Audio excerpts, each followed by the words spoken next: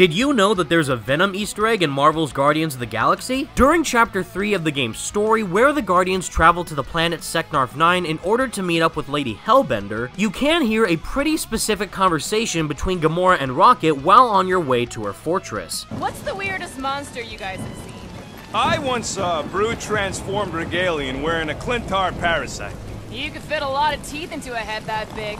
You have no idea. In case you're unaware, the Klyntar is the official alien race name of the symbiotes within the Marvel Universe. And even though it has been previously confirmed by Marvel Games that neither any of the Square Enix Marvel games nor Insomniac's own Spider-Man games do not connect within the same universe in any way, shape, or form, it still is pretty cool that symbiotes do in fact exist within both of the game's separate worlds one way or another. Did you happen to notice this reference your first time playing through Guardians of the Galaxy? Let me know what you think and be sure to leave a like on the video and subscribe to the channel for more Marvel Games shorts.